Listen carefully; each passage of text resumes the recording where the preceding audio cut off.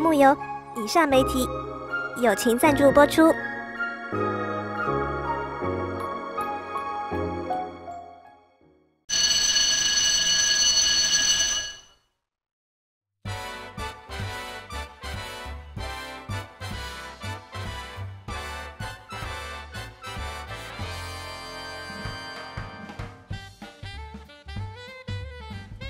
欢迎各位观众点开视频，收看我们新一期的猛汉节目。仔细看标题的观众朋友，应该就会发现这次节目的特别之处。现在就让我们自己来重新介绍下吧。我是王阿姨。我是乐乐。嗯，话说不应该是猫车君吗？猫车君是说我？除了你还有谁？你的粉丝观众不都是这样称呼你的吗？话说如果不叫猫车君的话，我们这个组合名字还有什么意义？你看看，我们节目的标题和形象都设计的这么棒，如果你不叫猫车君的话，我们这些工作不都白费了吗？是吧，猫车君？我最讨厌别人叫我猫车君，我好歹也是做攻略视频的，啊，名字里面就带个猫，那我还玩个蛋？本来我们这期视频也是攻略向的吧？反正反正不要叫我猫车君，叫我 Lolo。哟，我不叫你猫车君，那些刷弹幕的观众老爷们也会叫的呀，是吧？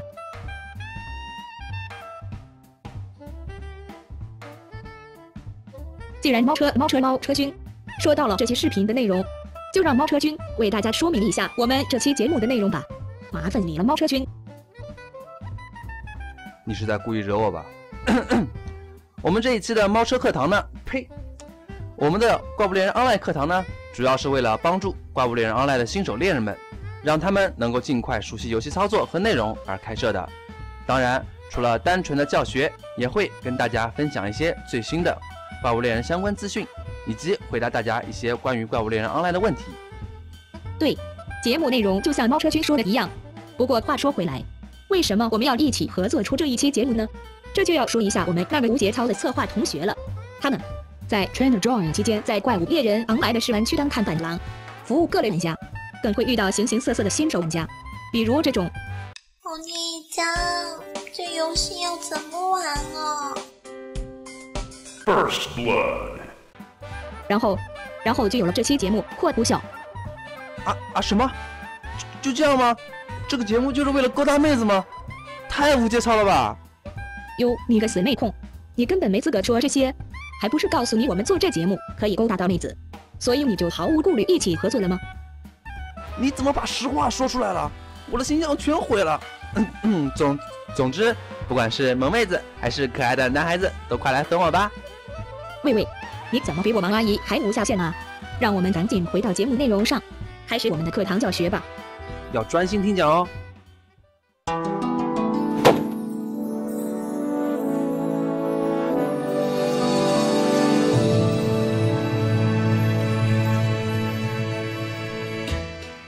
这第一期的猫车课堂呢，先由我们阿姨来介绍一下片手篇章里有关片手剑的基本操作和部分派生招式。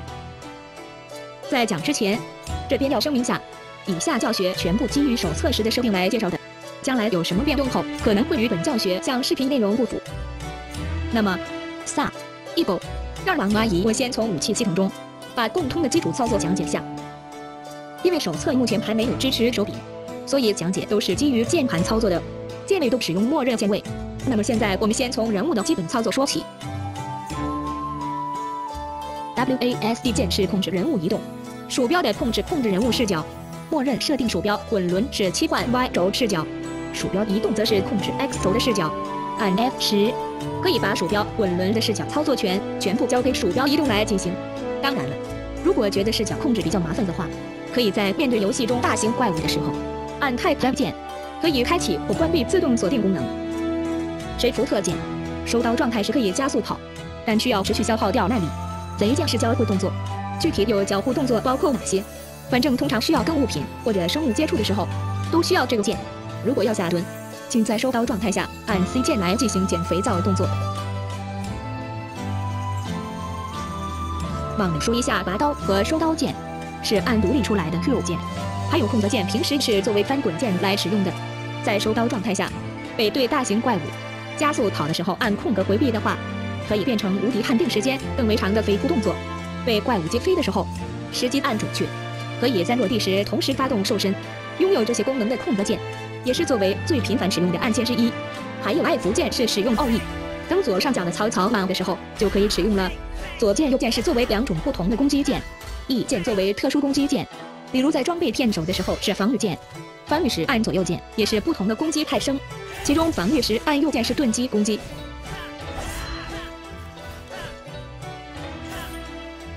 话说，这样的讲解也太无聊了，不是吗？基础操作基本都讲完了，剩下的一些弩炮专用键，等到了弩炮篇的时候再讲解。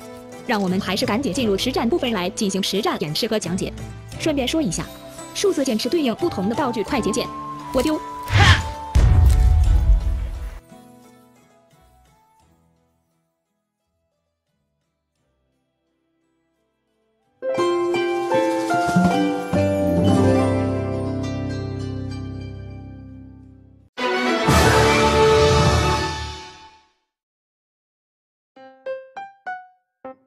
そんな装備で大丈夫か？大丈夫だ。問題ない。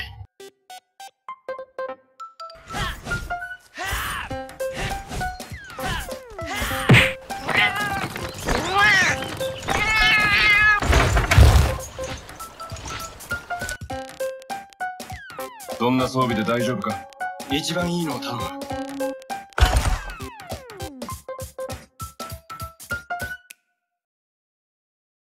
装备也换好了，基础操作也讲解过了，是应该出发狩猎了。不过在此之前，让我们先把狩猎目标和装备来个简单的了解。本次的狩猎目标是河狸兽，所以换上的装备也是河狸兽套装，拥有探知和速食光环的技能。探知技能让我们不用染色球或千里眼药就能知道怪物的位置，速食光环可以让同区域的队员提高使用回复道具的速度。介绍差不多就到这里。萨一狗，让我们开始狩猎之旅吧。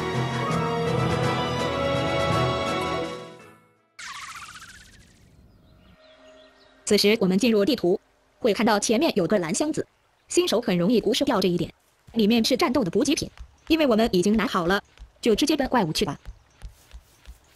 注意细节的观众应该已经发现了，右上角的小地图已经把河狸兽的位置给我们标记了出来，这就是我们装备技能的判决技能效果。现在我们只要跟着这个去就好了。在战斗之前，让我们吃下携带食料或者烤肉，可以补充耐力上限。前面就是我们的目标，河狸兽了。相信关注怪物猎人昂来的朋友们应该再熟悉不过了，因为太过熟悉也会看起来很无聊。让我王阿姨给大家示范一种另类打法。我们全程运用我们手翻滚，我们全程运用我们手中的盾牌，交击他的头部，就像这样。首先再声明一下，手册是自带回避性能的，所以无论攻击或者吼叫都是比较好回避的。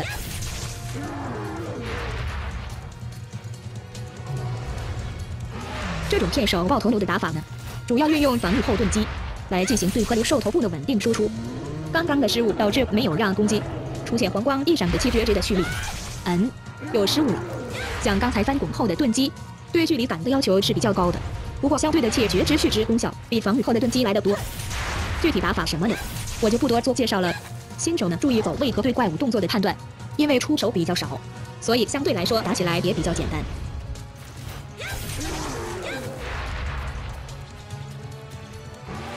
再让王阿姨我来说一下这种打法的好处。第一呢。是可以给怪物增加气绝值，可以导致他眩晕，但又会有哪个傻逼不去拿锤子，用骗手的盾击去专注晕怪呢？这第二呢，就是翻滚；这第二呢，就是盾击，是不消耗展位，也就是所谓的锋利度。像我王阿姨这样的买不起底池的穷人来说，这真是太开心了呀！最后呢，给新手玩家总结一些经验技巧，像这类敌不动，我不动，敌一动，我就抡，这样的打法呢。主要是先熟悉怪物的每一下招式的动作，根据对方出招再制定自己的出招方式，千万不要贪刀。计算怪物的硬直时间也是十分重要的，单刷的时候要尤其注意这一点。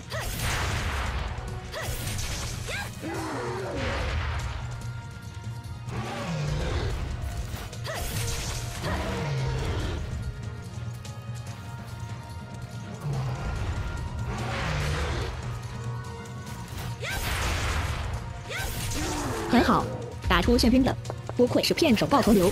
哟，破头了！别看晕的时间那么短，像这样强制的硬直，会取消击晕时候的眩晕状态。既然怪物不会气绝，这个谣言已经证实了。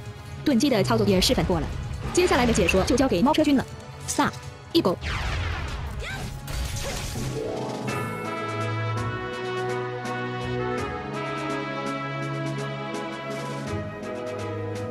现在就由我来给大家带来沙梨兽的介绍和简单教学。首先呢，要介绍一下狩猎用的装备，因为狩猎的是沙梨兽，所以也准备了相应的沙梨兽套装。因为是亚种嘛，所以说装备造型和河狸兽套装是一样的，只是颜色不一样。沙梨兽套装呢有两个技能，防御上升小和团队之心。防御上升就不用多解释了，团队之心可以看作是速食光环的强化版，不仅可以提高自己和队友吃东西的速度，还可以增加使用道具的恢复速度。那么接下来就进入实战讲解吧。OK，那么狩猎开始。诶，我怎么感觉有点不对啊？沙梨兽不是这张地图吧？我去，你怎么跟艾丽一样喜欢跟着我吐槽？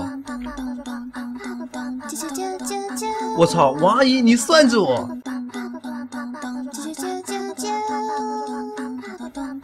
喂，喂，王阿姨，王阿姨，回来！我，你，我能说脏话吗？好你个王阿姨，竟然敢坑我！这，你也你也太小瞧我了！我就当着这么多观众的面把雌火龙干掉给你看看。唉，虽然话是这么说，哎，我先吃块肉。虽然话是这么说，但是呢，怪物猎人 Online 当中的雌火龙还是非常强的。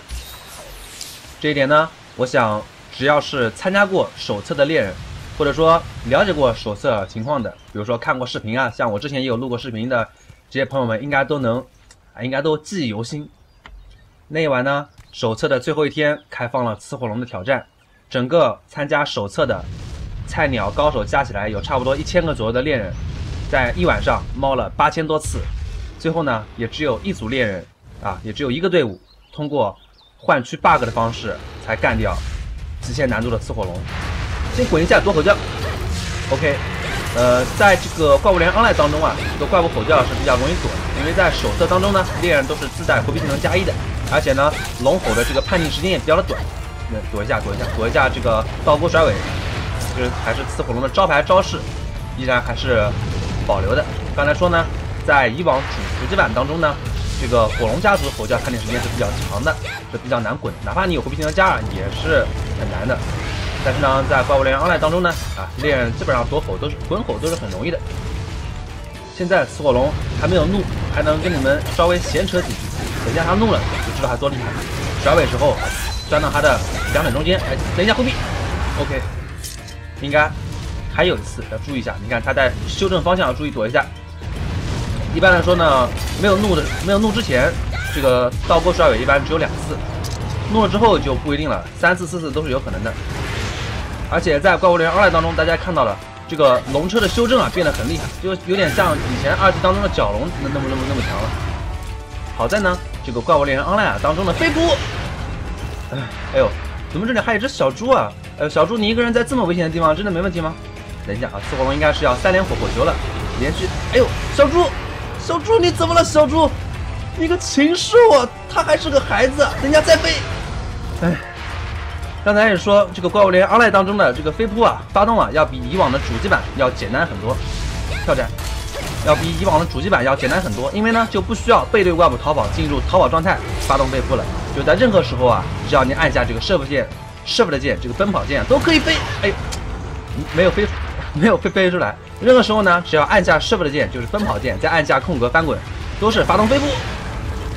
刺火龙，你能不能不要这么配合我的讲解？哎呦，还是先换过去吧，把刀先磨磨一下，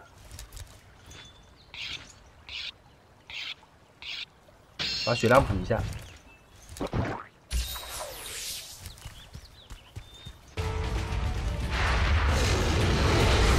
纵斩，连续斩，回避。在这个 online 当中呢，就是像打这个雌火龙啊，嗯，我常用的一套连战连招呢，就是纵斩接连续斩接这个转身重斩，先躲一下他这个倒钩甩尾。倒钩甩尾的话，伤害非常高，而且中了以后身上会中毒，这个是很麻烦的。等他落地后，再给他来一套跳斩、连续斩、转身重斩，然后再等。OK，又是倒钩。然后再等它下来，再来一套。这套呢，就是我打刺火龙的一个方法，就是先跳斩切入，砍他的腿和肚子，然后转身重斩之后呢，就等着回避。转身重斩呢是 online 当中的片手剑新加的招式，一来呢它这个伤害比较高，二来呢它后面比较容易接回避。你砍完一套之后呢，刚好转个身还可以再回避出来。你看像这样，再给你们演示一遍，千万不能贪刀。你跳斩完之后呢，这个连续继续砍多了，钻到他的肚子下面之后呢，就会就会像像这样啊。这是我故意演示给你们看的，大家千万不要千万不要学啊！回避。好在身上还有解药，先把把毒解了，然后把想办法把等一下我们找机会把血量补补一下，小心不要撞到火球上面，把血给加起来。哎，我才发现我这这就没药了呀！我王阿姨你你又坑我，这我身上就带三瓶药，这这打个这还打个毛线啊！哎呀不是，哎呦完了，一激动的话，哎这刚才一下。没冷静下来，这怎么玩？这怎么玩？哎呦，之前我还跟哎呦先恢复一下，哎，我现在想临时采采药草都不行了，因为在 online 当中呢，你采集植物是需要采药手套的。这个我之前哎呦斩位又下降了，哎，终于打出来个硬直，大家也看到了，才打出一个硬直，这个刺火龙的这个强度还是很高的。哎呦，我傻了呀，我头昏了，怎么这个时候磨刀啊？完了，这下。这下，哎哎，等一下，等等一下，回避一下。哎，这算是大难不死必有后福吗？这都没死。哎呦，我之前还信誓旦旦的啊，说当着现场这么多怪物的面，不是当着现场这么多观众的面，就把把把刺火龙干掉。这下没得玩了啊！啊，算了，给你们看一下片手剑的奥义吧。按 F 键发动守护者之怒，在冲锋状态下是可以随时调整方向的。再按一下鼠标左键，可以发动连续斩，两下、三下。哎呦，好像后面两下没有没有打打中啊！哎，雌火龙准备换区了，这个我们试一下能不能？哎呦，我想不太可能。这个怪物猎人阿赖当中的这个闪光弹啊，还是范围比较小，不是那么特特别容易中。哎呦，我还没有给他丢染色球啊，他这个跑到哪个哪个区去了？去去这个稍稍微找一下吧，在这个区吗？把它给关掉。当然了，他如果把它打开来的话呢，我们会对自己的伤害有一个更加直、一个更加直观的一一个一一个效果。大家之前也应该看到了，我那个片手剑的奥义打上去还是挺疼的。虽然平时片手剑的单发伤害不高，但是呢，奥义的那几下还是挺疼的。不过呢，就是它比较难全中吧，毕竟只能怪物不动的时候才可以。呃，好了，发现刺火龙了。这个，哎呦，这个扇形喷火也是啊。还可以连，还可以连着甩尾。哎呦，怎么这个区还有蚊子？这个我最烦看到这个蚊子了，这个超讨厌的。哎你哎，你看你看你看，等一下等等一下飞扑。哎呦，还来再飞。哎呦，这个雌火龙弄了以后的这个镰刀也是变得很多。哎呦这哎蚊子超烦的，我跟你们说，先回避一下。怪物猎人 online 当中的小怪，它的 AI 呢，跟我们以前玩的。加加长级版的和长级版的都不一样。以往的就是怪物猎人当中呢，它的小怪啊，它经常会进行一些随随机运动，就是说它不会一直盯着你干的。它比如说打你几下，它会呃跳过来跳过去啊，或者是到处乱乱跑跑。很多怪物，很多小怪都是这样。但是呢，在 online 当中，他所有的小怪都像打了鸡血一样，就是一刻不停的，就是盯着你干，就非要把你干死为止，或者你把他干，把他给干死干死为止。反正你们两个人当中只能活一个。我们还是继续之前的打法。为什么不打刺火龙的头呢？因为你在他头前面的话呢，他经常会出无预兆的龙车，这个呢是基本上没有办法躲的。但是呢，你在他的身下砍的话呢，他就会出这个甩尾啊，这个倒钩甩尾。哎呦，怎么武器展位又又又下降了？他这个倒钩甩尾的准备动作很大，是比较容易躲的。我们先找找找机会，先换区吧，换区把刀磨磨一下。如果没有磨刀，等下。弹刀了，那就非常危险了。哎，哎呦，这个磨刀石也没有了，磨刀石也只给我准备了三块。哎呦，不不是啊，根本什么都没有准备啊，这个都是我从箱子里面拿拿拿到的，之前就就什么都没有给我带，就把我丢到这地地图里面来了。王阿姨就这么想看我冒车吗？就这么幸灾乐祸吗？我就偏不猫给她看，你看我能打到什么时候？王阿姨，你给我出来！哎，你别用这个 BGM 行吗？我听着超不爽。暂停暂停。猫车君，这不怪我了，这是导演给的剧本，你已经做得很好了。下面呢才是杀离兽的教学，你可以好好展示一下。不要叫我猫车君。唉，这次你可不要再坑我了。没事，我这人一向靠得住。等一下，我先确认一下地图。OK，没问题。那现在呢，就开始沙梨兽的狩猎。因为是在沙漠，所以说呢，冷饮和热饮是一定要先准备一下的。沙梨兽呢，它是河狸兽的亚种，亚种呢一直是一种比较省成本的设定。在原有的怪物身上呢，把颜色改一下，加呃稍微加入一些新招式，然后把装备的颜色也改一下，把数据变一下，那么呢就变成了一只新怪物了。特别呢，在早期的怪物猎人当中呢，经常有一些就是单纯只是改个颜色。改一下数据的啊，这种亚种就比较没意思。不过后来呢，亚种和原种的区别也就越来越大了，做的越来越用心了。沙利兽呢，也是我觉得做的比较好的一只亚种。哎呦，这个区怎么还有蚊子啊？先跳上来给它砍一套。应该发现我们之后会先吼叫一下，滚一下。OK，没有问题。哎，这蚊子的麻痹几率也太高了。哎呦，而且被沙利兽这个。泥沙碰到以后还会进入泥人状态，不能奔跑又不能翻滚，只能纯靠走位躲避。哎呦，终于解决，终于解！哎，蚊子你我别，我去又来！你们这个控制是要连到死啊！我身上又没有带解除粘人状态的道具。哎，两个蚊子一直一直盯着我，这个发展不对吧？哎呦，是不是偷偷又把我的剧本给换了？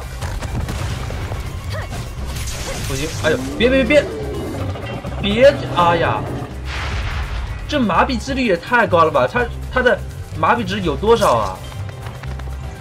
不行不行，我得把蚊子给干掉。蚊子在哪呢？把它给干掉！我砍你！哎，我砍你！OK，解决掉。哎呦，终于可以好好解说了。打沙利兽的主要要点呢，就是要多使用片手剑的新招式——回旋斩。它分为左回旋斩和右回旋斩，不仅呢同时带有攻击和移动两个效果，而且呢它的攻击距离还是比较远，比较容易中。另外还有一招呢叫做翻滚回击，翻滚之后的反向跳劈，只要在翻滚之后按一下鼠标左键就可以发动了。哎呀，发怒了！这个突然发怒的吼叫也是不容易反应过来。哎呀，好钻地了！沙梨兽这个钻地的攻击呢？是和雪狮子一样的，先钻入地下，再钻出来进行攻击。不过呢，雪狮子它玩的是雪，沙利兽呢玩的是泥巴。这个沙利兽亚种啊，也是在河狸兽的基础上把毛发，呃，我们注意一下，不要被它这个挖出来的这个沙土给攻击到。把河狸兽的这个毛发给改成了金色，还有黑色的条纹。但是呢，这样改动呢，却没有使它获得可以发动十万伏特的能力，反而呢。使它变成了一只喜欢玩泥巴的一只地面系小精灵。你看，它还发动了变圆和冲撞。不过这种纯体术招式呢，就比较容易回避。像这种牙兽种通用的下砸攻击也是很容易躲掉的。注意一下，还要注意一下它这个挖出来的沙子。沙利兽呢，它钻出来以后带出来的那个大量泥沙会一直留在地上，像这样。注意不要走走上去，它会有一个很强的减速 buff。哎呀！刚才就是沙梨兽的在愤怒之后的三连，先是爪击，然后接铁单靠，再接回旋攻击。如果呢他没有弄，就是两连没有最后那一下。又钻地了，把血补一下子。哎呀，跑掉了！我忘了沙梨兽还会通过钻地进行换区移动的。他这下跑跑哪里去了？之前我也忘记给他丢染色球了。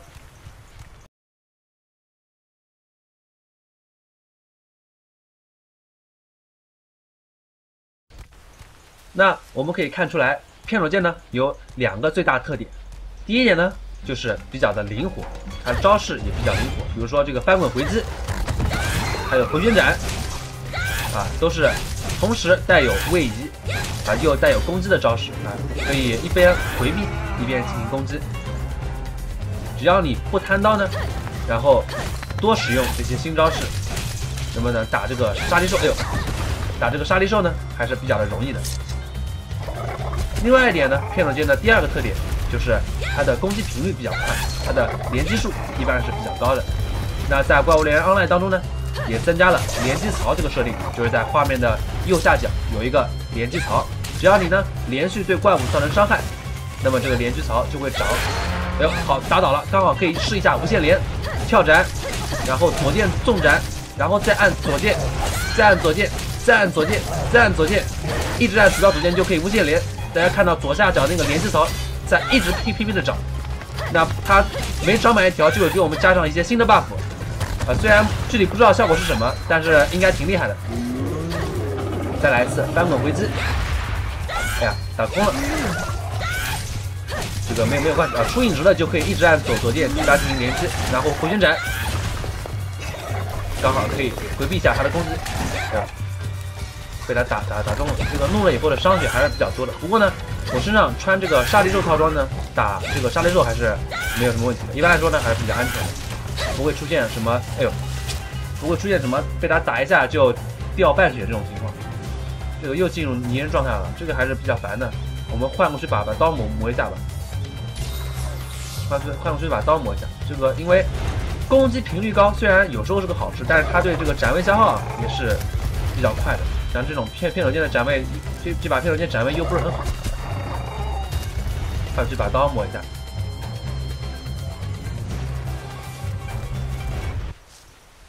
因为呢，啊，在怪物猎人 Online 当中呢，这些新招式的加入呢，就是片手剑这两个特点，一个就是攻击频率高，一个就是比较灵活，这两个特点呢又得到了加强。